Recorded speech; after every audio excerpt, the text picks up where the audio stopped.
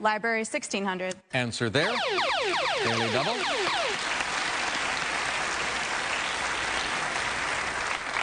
I'll wager 3,000. Three it is. Here's the clue.